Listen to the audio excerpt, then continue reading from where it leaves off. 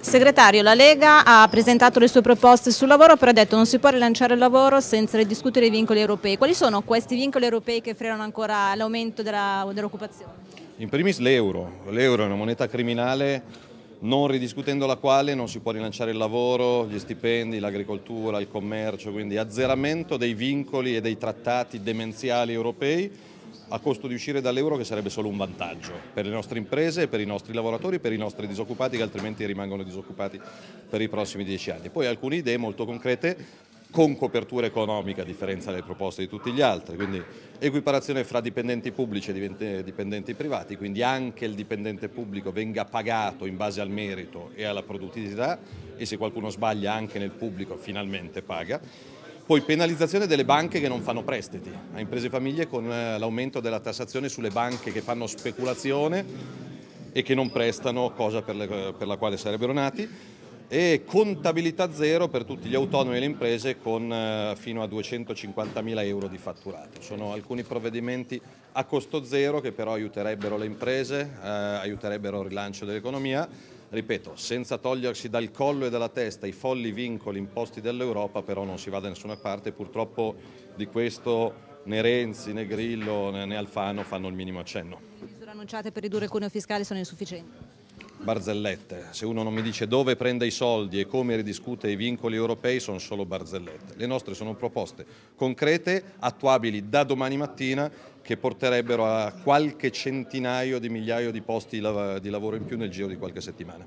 Conferenza è stato detto Milano è la capitale del lavoro, i dati relativi alla provincia di Milano proprio di questa mattina parlano di 21.000 licenziati e 55.000 cassi integrati in quella che è la capitale del lavoro.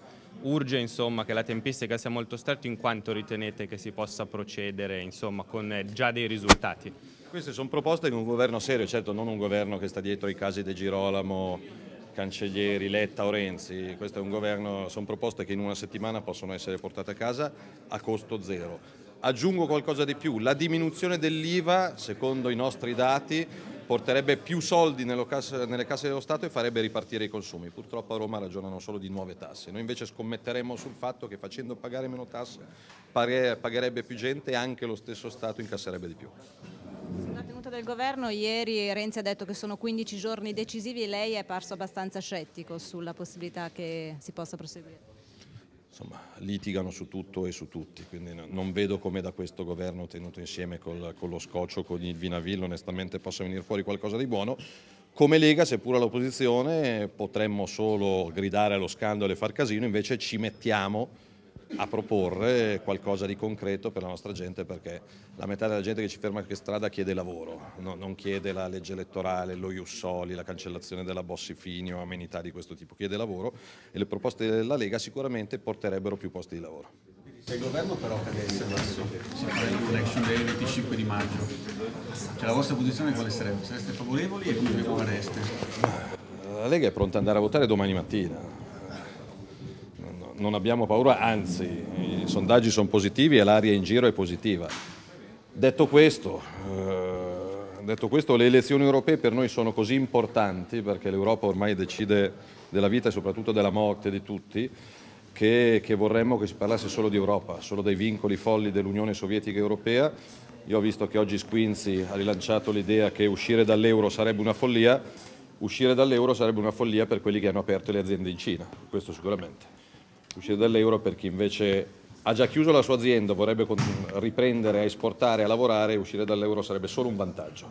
Però sappiamo che avremo le banche, la grande industria e la finanza nemici da questo punto di vista però ci frega poco. Se si andasse a votare anche per le politiche dovreste valutare delle alleanze, c'è all'ordine del giorno questo? All'ordine del giorno c'è che alle elezioni europee la Lega si presenta da sola, da nord a sud, alleandosi con alcuni partiti autonomisti e indipendentisti da nord a sud, punto.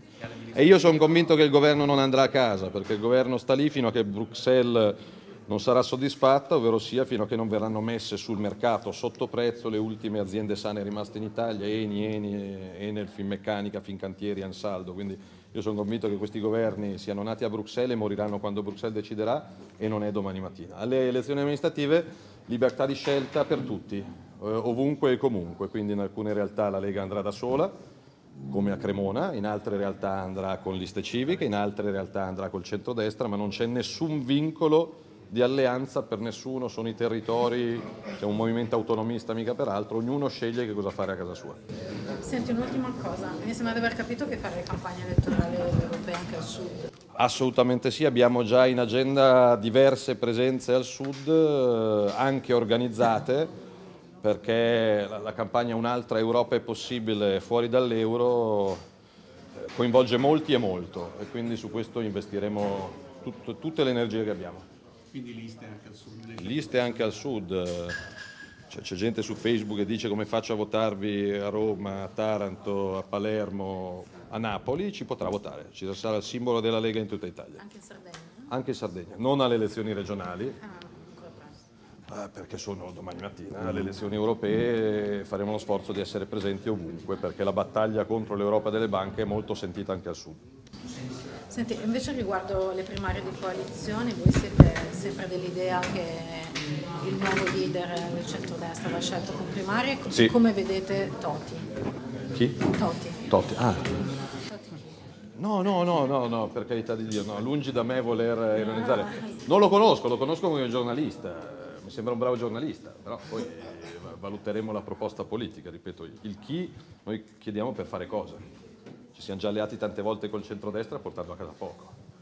E quindi quando Totti verrà a spiegarci qual, qual è il programma che parla di indipendenza della Padania, allora noi saremo contenti di concorrere con Totti nel nome dell'indipendenza. Però primarie comunque, Primaria, certo. con Tosi. To- Tosi contro Totti. Figata. Ma quindi il simbolo al sud sarà comunque Lega Nord, non, eh, non ci saranno altri La movimenti? Giussano c'è, eh, la Lega Nord c'è, però stiamo valutando la possibilità di inserire da Bolzano alla Val d'Aosta, passando per Cagliari, Palermo e, e Lecce, anche eventuali altri simboli di, di persone che ci stanno a fare la battaglia, eh, che a livello europeo faremo col Front National della Le Pen, con gli austriaci, con gli olandesi, con i finlandesi, quindi a livello europeo siamo già ben strutturati, io incontro la Le Pen eh, dopodomani a pranzo a Strasburgo. A livello italiano chi ci sta è il benvenuto.